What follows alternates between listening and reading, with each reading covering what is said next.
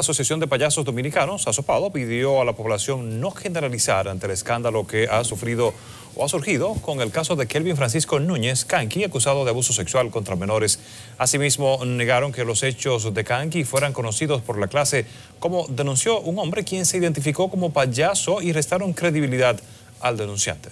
No podemos echar por el suelo tres mil años de, de, de, labor, tres mil años de profesionalidad, de un, de un lindo oficio, porque una persona supuestamente cometió un error.